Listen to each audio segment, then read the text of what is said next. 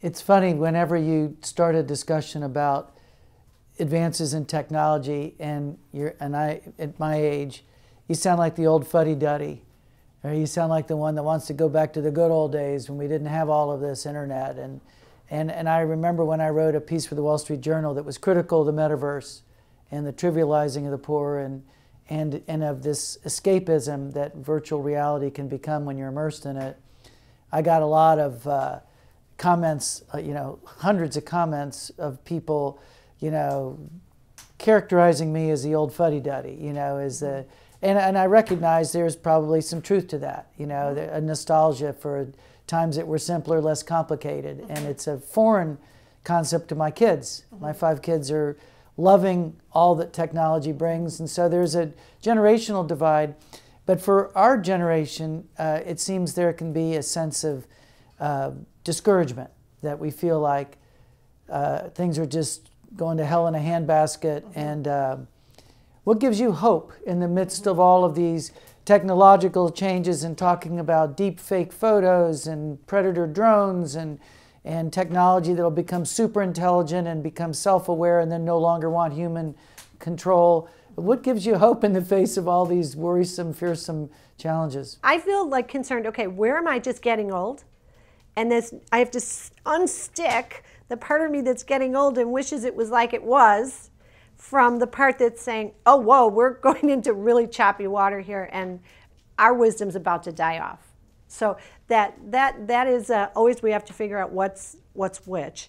Um, what gives me hope is teaching people how to pray. Same thing it, that ever gave anyone. So connection with God. Connection with God and with themselves because we had recently in a boys' high school, uh, 50 young men, 16, 17, they, they, can be like young colts. They come into the room and the walls are being slammed into. I mean, it's, it's all motion and movement. It's a storm. I have two sons. I, I, I learned it. And we, we counted them down after a few weeks, we were training them, and they were in 30 minutes of deep, silent, contemplative prayer. There were 55 of us in the room. We were like Buddhist monks, all of us, and or Catholic mystics. You know, deep reflection and contemplation. And when they came out, they were altered. They were happy, they were calm, they were peaceful. They looked around at everyone else, smiles, and they didn't leave like colts. Mm-hmm. They left in a more orderly fashion. And I can tell you what I loved about it the most was their faces were so sweet. Mm. You know, these boys are so beautiful. You know what else gives me hope, Jim? When you teach young people contemplative prayer, they take to it like ducks to water. It just it, they go like this. Older people have a little more trouble. The younger people are more open to everything, and including this. So I get very excited when I look at how people take to that alternative experience. So, this rediscovery of God and their need for time alone, for reflection, to listen, to speak, to, to simply be present to God. What do you, what, what do you find uh, as the most effective way for someone who's uh, got two kids, busy life, mm-hmm. challenging demands, mm-hmm. and uh, and can't quite find that even 30 minutes to sit uh, set aside for a quiet prayer. Mm-hmm.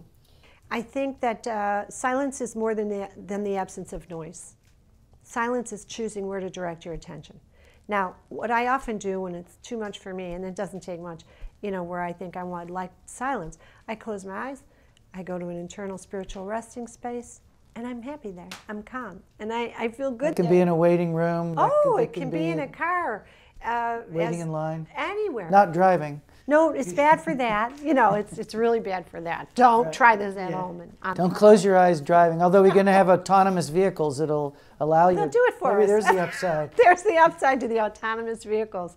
I find it hard to believe maybe I'm a control freak, but getting in with an autonomous vehicle doing yeah. the driving, how do you feel about that, Jim? Well, it's, I feel the same way I feel about these surgical uh, robots that they have now. Mm-hmm. Uh, this the developments in robotics, no, informatics. I know. I mean, because you know they don't they won't really feel sorrow if they mess up. Mm-hmm. Uh, and so, and they don't have empathy. And you know, this is, of course, going back to our discussion about the perils of artificial intelligence. It seems like once you define what the perils are this lack of empathy, lack of wisdom, intuition, proportionality, ability to distinguish the way human beings can take in stimuli in a bunch of different directions, both emotional, you know, as sentient beings that we are.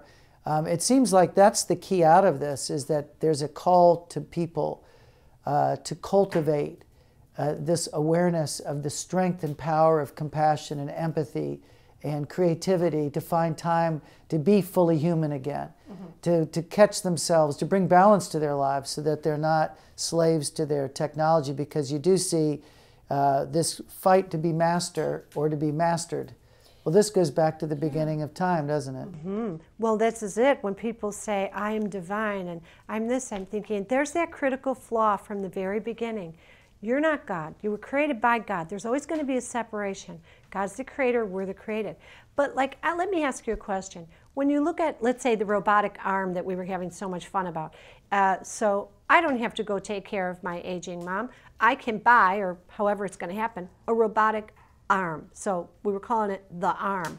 And it will give medication. We can drive it from somewhere else. Let me ask you this, Jim. What would Mother Teresa have said about that? What yeah. would she have thought about that? She would have found it preposterous. Preposterous. Yeah. The idea, first of all, I think what gets lost is the enrichment that occurs when you reach out with compassion. It changes you, it mm-hmm. changes your life. For her and her sisters that were with the lepers and with the mm-hmm. AIDS patients and working with the desperately poor all over the world, they, they became so fully human in, in ways that we can't imagine. And, and you don't become that way till you sacrifice, till you give. As you pointed out, so much of this is a diminishment of the role of suffering and the Christian meaning of human suffering, mm-hmm. the Judaic meaning of always understood of the, the value of sacrifice for others. Mm-hmm. Um, this idea of a life lived for others that mm-hmm. Mother Teresa talked about. Mm-hmm. The metaverse seems to be focused on a life lived for yourself in your own entertainment, your own immersion into a world of your own creation. Mm-hmm. So it is, in a way, kind of the echo of the primordial "I will not serve." Right. Uh, that I uh, that I'm the center of. And yeah, existence. and the universe. And to be clear, they're actually not creating anything. They're just pressing buttons from prearranged groups of. And programs, right? Yeah, they're not creating. It's an illusion and that, that relationships in the they're rather an illusion.